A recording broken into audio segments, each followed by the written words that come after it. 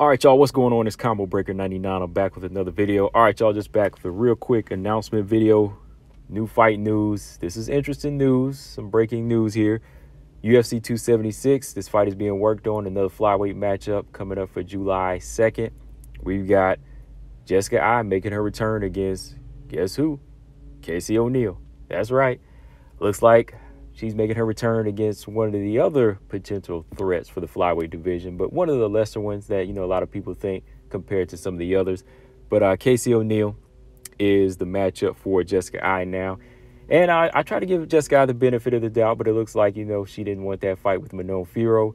It doesn't look like they're trying to reschedule that anytime for the future, you know. So, um, yeah, this is the matchup that's being made. So, um, as y'all know, Jessica Eye, um, it's actually been since last July, since her last fight, which was a loss against Jennifer Maia, which everybody could have argued that Jessica Eye could have won that fight as well. You know, so um, yeah, her last fight back in July, her return is going to be in July. So yeah, she's been out for over almost going on a year. You know, give a week or two. You know, so um, if you look at her resume right now, Jessica Eye last fight Jennifer Maia. Before that, uh, she racked up two more losses to uh, Cynthia Calvillo and JoJo Calderwood. So she's on a three-fight losing streak. So this is pretty much a must win for Jessica Eye. When you look over here on the right at Casey O'Neill, she's on her four fight win streak. You know, um, four good wins, you know, three finishes, one solid lopsided win over uh, Roxanne Modafferi. Right now, you know, Casey O'Neill, she's a new addition to the flyweight division, some new blood, still a raw talent, still putting everything together, and I think she knows that. But um, I think this is another good test test for her you know, I think this is a good test in the right direction versus, you know, some other fighters that, you know, that show better skills. You know, first she went from uh, Roxanne, now she's going to go to Jessica Eye. You know, you know, another fighter that's a veteran, but it's about time for them to go. So it looks like, you know, Casey O'Neill is actually turning into the fighter that's retiring, retiring these fighters. She's actually, actually, you know, she calls herself King Casey O'Neill. We might have to call her Father Time. You know, if she retires another fighter, right? That might be the new nickname. Hey, Father Time might be her nickname or mother time, whatever you want to call it. But anyways, um, my thoughts on this matchup. It's okay. You know, I like this matchup. I think it might turn into a good, you know, scrappy fight. It wasn't really one that was on my radar. I actually wanted to see Casey O'Neill in there with a fighter like Marina Moroz, just because I think Marina Moroz has like a more polished style of what Casey O'Neill could be. And I think that would be a much solid test for her, just because I think Marina Moroz, even though she hasn't really been active, I think she has this style that could really bring out the best in both of them, you know, both O'Neill and Moroz. Uh, you know, Jessica Eye is still kind of on that same level of a Roxanne Modafferi. You know, she's facing a fighter that's been out for almost over a year on a three fight losing streak right now.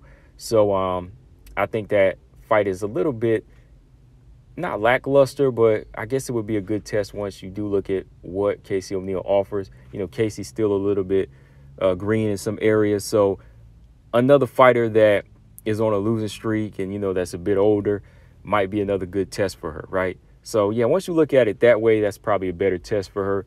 You know, whereas Manon, I, I think Manon probably would have went in there and finished a fighter like Jessica Eye because her skills are a little bit more polished, you know, in her stand-up area.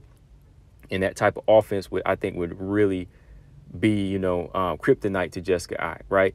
But here's somebody like Casey O'Neill, we have to still see is her boxing on point? Is her kickboxing sharp enough to, you know, get the respect to Jessica Eye? You know, is her offense that well rounded to where she can dominate, even like Cynthia Calvillo did on the ground on a fighter like Jessica Eye. So, I mean, just looking at the resume right here, um, yeah, she's definitely a must win. And I'm looking on Tapology. Jessica Eye did, you know, perform in some grappling tournaments. She lost both of those. So if you want to count that, she's kind of on a big losing streak. You know, I mean, she's been working on her grappling, but lost a grappling tournament to Ilima-Lei Macfarlane on the way as well. Uh, who was the other one? Amanda Cohen, I think. I'm not looking at it right now, but I was just kind of looking at it earlier. But yeah, man. Um, yeah. Uh, the more and more I look at this fight, I think it might turn into be something better. But it wasn't really one I was just kind of playing matchmaker with.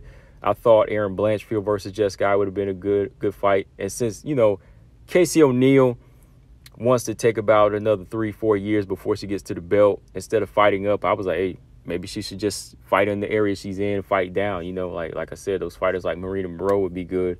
Even uh, JJ Aldrich would be good. Would be good, good test for her on uh, on her way to building her skills up. So that's what it really is to me. You know, I think um, with her wanting to take the four years off, or not four years off, but take the three to four year time period before getting to a title shot. I think the matchmakers are saying, okay, I think I know what she means. She needs these type of fights. You know, she needs these type of fights against veterans that have potential threat to her, but they're not as dangerous as somebody like a Jennifer Maia or, you know, even like an Andrea Lee, right? So they want to put her in that realm with the Modafferis and the Jessica Eyes. But like I said, man, she might go in there and retire a second fighter. And hey, that's cool with me. I mean, like like I said, fighters like Roxy, fighters like uh like Jessica Eye, uh, even like some of the fighters in the higher level, like I said, you know, like if Lauren Murphy's about done, you know, some of these fighters, they're gonna be on that block where the new blood is gonna try to weed them out, and that's what it's time to do. You know, we all want to see new blood. So whether you like Casey O'Neill or not, I think, you know, she is some new blood for the division. And I think she does bring some excitement to it. I just want to see her bring a little bit more skill to it as well. That's why I'm like, yeah, take her time, get some work in, and um, retire Jessica. Right. So let me know, guys, what y'all think of this fight. So it's being on the, it's being worked on. It's in the works for uh, July 2nd. Nothing's finalized, and even if it is finalized, we never know if somebody's going to pull out.